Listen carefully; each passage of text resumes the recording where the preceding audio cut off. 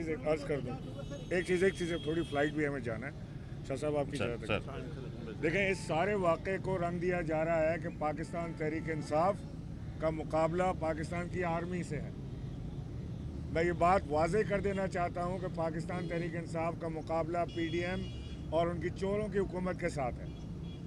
हमारा अपनी अफवाज पाकिस्तान के साथ कोई मुकाबला या जंग नहीं है। ना ही हम इसके मुतमिल हो सकते वो हमारे हैं। वो हमारे हैं ना इमरान खान ने इसकी कॉल दी है।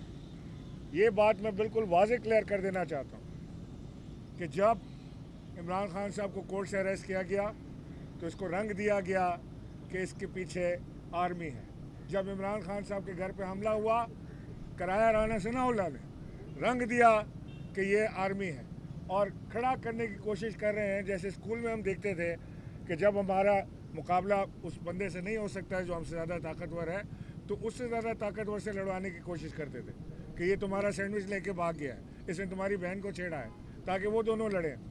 इनके अंदर दम नहीं है कि इमरान खान का मुकाबला करें।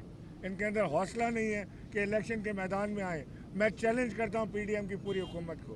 पूरे चोरों के टोले को चैलेंज करता हूँ कि जब चाहे, जहाँ चाहे, जिस मैदान में चाहे मुकाबला करें। इन हर इलेक्शन को हम डिफीट देंगे। और जो इनका खौफ है कि इमरान खान जब आएगा तो अकाउंटेबिलिटी होगी तो मेरे मालिक ने चाहा तो ज़रूर होगी और भरपूर होगी इन थैंक यू जी। बहुत शुक्रिया। सर जहाज़ का टाइम हो गया। लेकिन कराची में गाड़ियाँ क्या जलाई जा रही जी शरद वो वो सुन लीजिए सुन लीजिए। भाईजान हमारी तहरीक पुरमन है। पीडीएम के घुस बैठिए मनसूबाबंदी कर रहे हैं। पीडीएम के घुस बैठिए मनसूबाबंदी कर रहे हैं। समझिए चालों को।